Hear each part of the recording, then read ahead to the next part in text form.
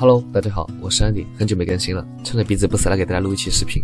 最近在上海学导演，所以催更可以稍微歇一歇。过段时间我应该会出一些电影镜头的视频。这期我们来说一说色温。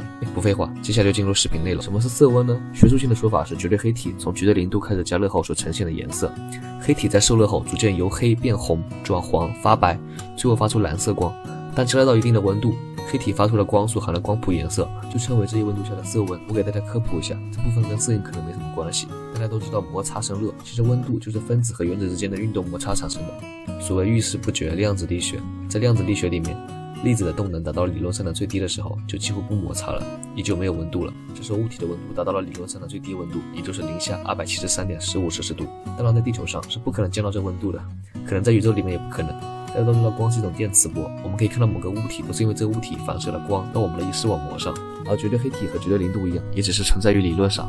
它既可能吸收所有电磁波的物体，包括可见光，因为它把光都吸收了，就不会反射光了，我们也就看不见了。所以说它是个黑体。那么为什么要加入绝对黑体来定义色温呢？因为绝对黑体吸收了所有的电磁波，所以它不会向外反射外来的电磁波。但是也说了，绝对零度是几乎不存在的，黑体的温度肯定是大于等于绝对零度。所有的温度大于绝对零度的物体都会向外发射电磁波，也就是所谓的辐射。我们在研究辐射的电磁波时，很容易受到物体同时反射的电磁波的干扰。所以，我们从绝对零度开始加热不会反射电磁波的绝对黑体，黑体把加热生成的能量全部转为电磁波，也就是光的形式释放出去。我们通过观察加热到不同温度下光的颜色，就可以知道不会反射光的物体在不同温度下会呈现什么颜色。不同的颜色对应的是不同的温度，我们把这一温度称之为色温。当我用开尔文表示。开尔文是用来纪念热力学之父开尔文。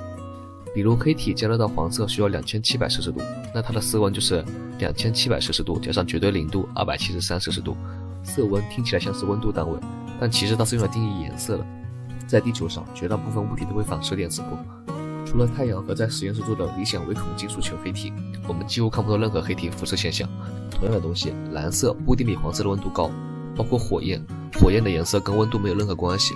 正常的火焰焰星都是蓝色的，温度是最低的，因为焰星部分中没有完全燃烧的物质，反而是黄色的外焰温度最高。火焰的颜色主要和电子辐射跃迁有关，其中比较经典的例子就是焰色反应，也就是闪光灯和影视灯的发光原理。在生活中，我们唯一能感知到的黑体辐射现象，也就是随处可见的阳光。我们平时看到的太阳是太阳的光球层，光球层的温度是五千五百摄氏度左右。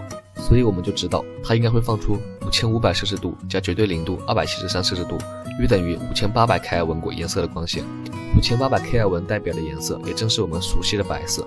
至于为什么朝阳和夕阳是橙红色的，主要是和太阳的角度和大气的阻隔有关系。正午十二点，太阳直射的时候，我们一般都会看到白色的太阳。当然，只是正午太阳对眼睛不好，对 CMOS 更不好。天文学都是利用色温来推测星体的表面温度。当然，这星体一定得要是自己会发光的恒星。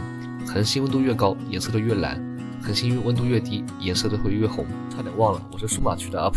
回到摄影中来，物体的反射颜色和光源的颜色有关系。一张白纸在四千五百开尔文的灯光照射下就是浅黄色，在六千五百开尔文的灯光照射下就是浅蓝色。但人的眼睛可以适应色温的变化，让我们知道这是一张白纸，而不是浅黄色或者浅蓝色的纸。可是相机的 CMOS 或者 CCD 做不到这么智能，为了让白色的东西在相机上的成像也是白色，相机多了一个 White Balance 的功能。通过平衡色温，让白色的物体在相机成像上也是白色，直译过来就是白平衡。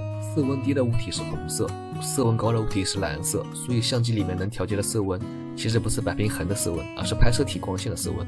比如说在三千开尔文的低色温橙红色光线下拍摄，相机白平衡设置三千开尔文，那拍摄出来的成片颜色就是色温正常的。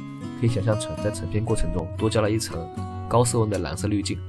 让低色温的橙色光线通过平衡变成了白色光线，所以如果是在五千五百开尔文左右的白色光线下设置白平衡为三千开尔文，那高色温的蓝色滤镜就会让原本白色的物体变成蓝色。我们可以利用这点，在设置白平衡的时候选择高于拍摄体的色温，相机就会默认物体偏蓝，会在成像的时候套上偏红的滤镜，拍摄出的成片就会偏红。比较典型就是拍摄夕阳设置高色温，让夕阳变红。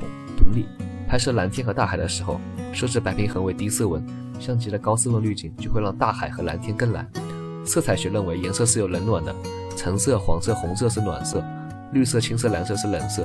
再加上白平衡与色温相反的操作流程，许多人会觉得橙色、黄色是高色温，蓝色、青色是低色温。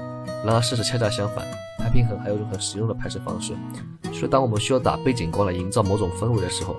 比如说，我想打一个高色温的蓝色光，来营造一种冷冷的感觉，但是灯的功率不能完全照亮整个背景，或者太大的背景光会干扰其他的布光。我们可以用低色温的橙色光照亮我们要拍摄的主体，然后设置白平衡为低色温。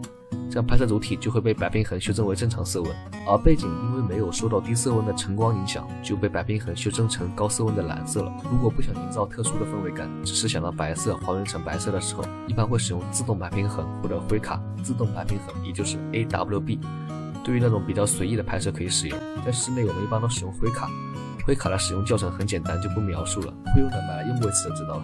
淘宝上这种十几块钱的黑卡没什么用，我推荐大家一款性价比很高的灰卡，德塔的灰卡。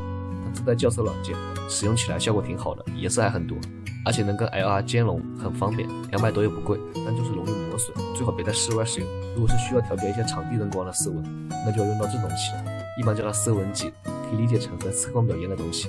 不过我没买过这个。视频到这差不多就结束了，最近的私信 有些没有回。制作这个视频的初衷是发现好多人觉得橙色是高色温，蓝色是低色温，其实一句话概括就是低白平衡变蓝，高白平衡变红。如果只是把摄影当成一个混饭吃的技术，那知道这点就足够了。但我知道关注我的人都是品味相对较高的、有眼光的人。我觉得学习是永无止境的过程。之前工作室的收益，我就拿了一部分让大家一起学习雕塑啊、音乐、油画什么的。上次在抖音上看到一个人在一个商业摄影视频下面评论了他的色温理念是错的，然后被视频主人直接强行戴上一个建设的帽子。贱不贱？每个行业的素质都是参差不齐的，真的特别是像摄影这种低门槛、几乎没有门槛的行业。这是一个只要手指和大脑健全就可以支撑是摄影师的时代。哎，算了，这东西以后再说。说这些就希望大家不要成为一个只会按快门的工具了。如果是只会单纯的体力劳动的话，摄影是一个性价比很低的行业。我是安迪，那就下期再见了。